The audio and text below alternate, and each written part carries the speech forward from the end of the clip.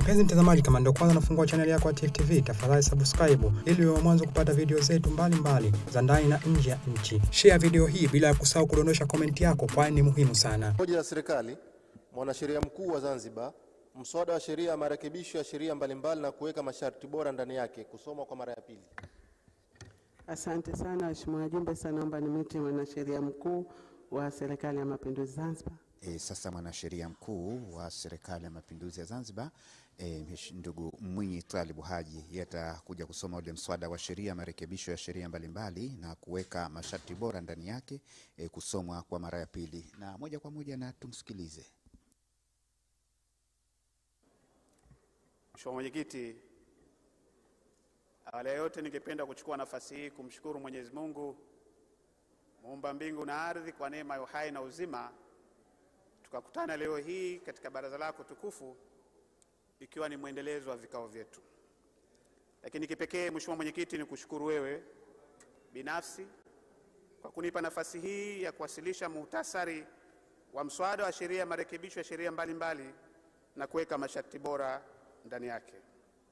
Mheshimiwa Mwenyekiti, madhumuni ya mswada huu ni kupendekeza marekebisho ya sheria mbalimbali kwa lengo la kuondosha changamoto zinazojitokeza katika utekelezaji wa sheria hizo ili ziweze kutekelezwa kwa ufanisi zaidi.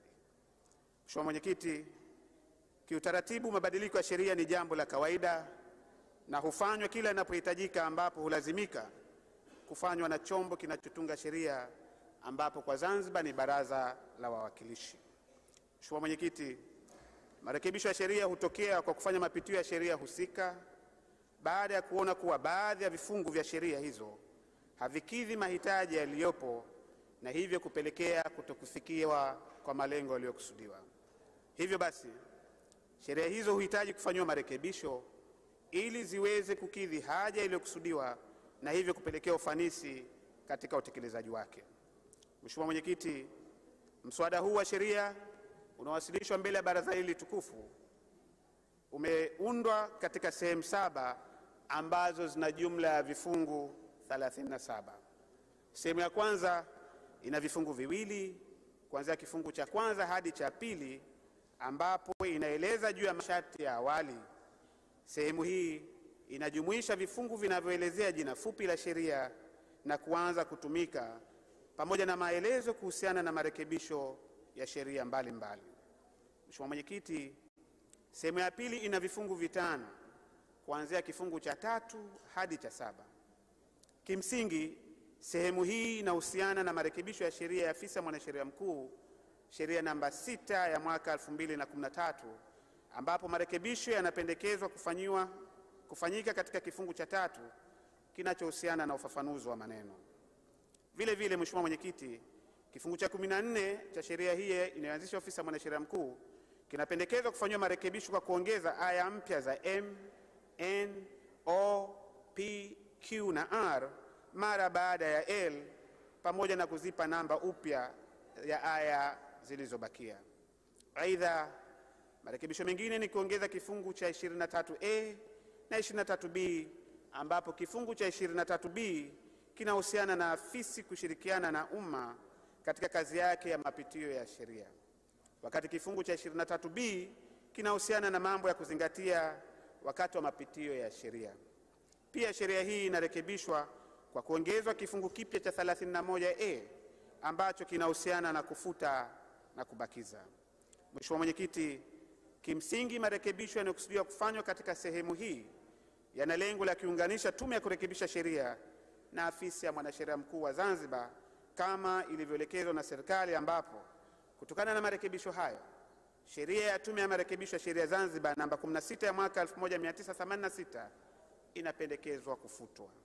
Mheshimiwa Mwenyekiti, sehemu ya tatu ya mswada huu ina jumla ya vifungu 19 kuanzia kifungu cha nane hadi kifungu cha 26 ambayo inahusiana na marekebisho ya sheria ya mamlaka ya kudhibiti na kupambana na dawa za kulevya Zanzibar, sheria namba 8 ya mwaka 2021.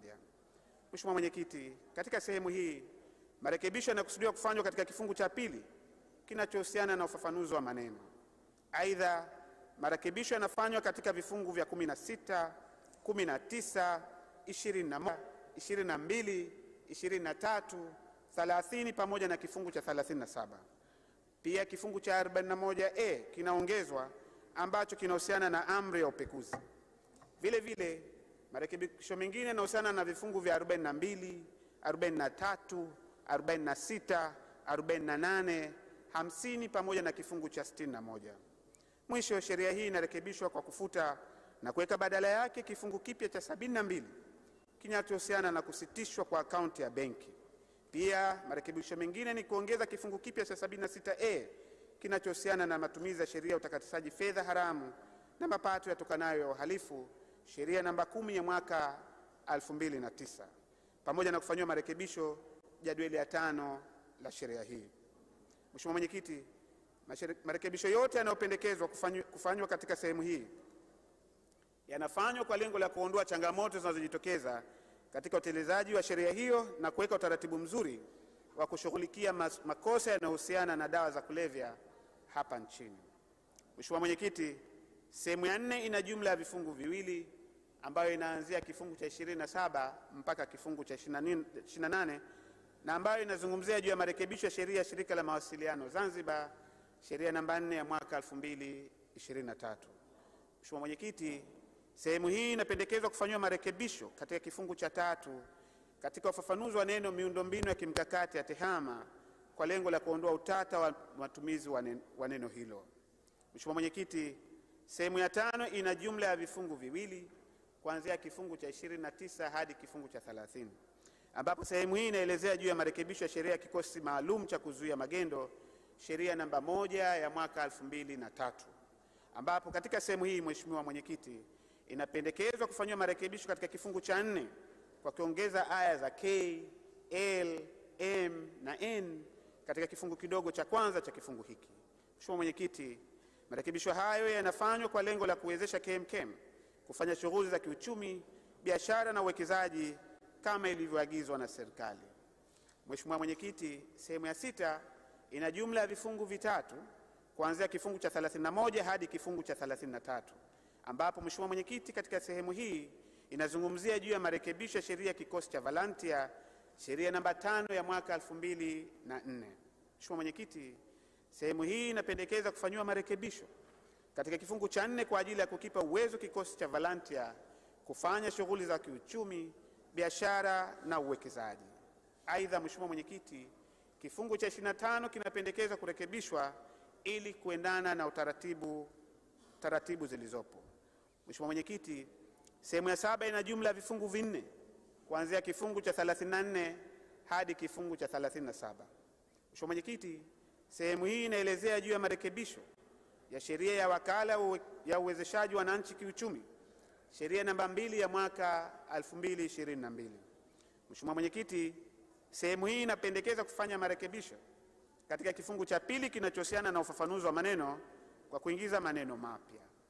Mheshimiwa Mwenyekiti, vile vile marekebisho yanapendekezwa kufanyika katika kifungu cha sita kwa kuingiza aya mpya ya T, U, V na W mara baada ya aya ya S pamoja na kuibadilisha aya ya T kuwa aya ya X. Aidha, kifungu cha 42 kinarekebishwa kwa kufuta vifungu vidogo vya pili na vya tatu na kuweka badala yake vifungu vidogo cha pili na cha tatu. Kipekee, Mheshimiwa Mwenyekiti, sheria hii inarekebishwa kwa lengo la kuziunganisha taasisi za wakala wa viwanda vidogo vidogo vidogo na vya kati na wakala wa uwezeshaji wananchi kiuchumi Zanzibar kwa lengo la kutekeleza agizo la serikali na vile vile kuleta ufanisi katika utendaji wa taasisi hizi mbili.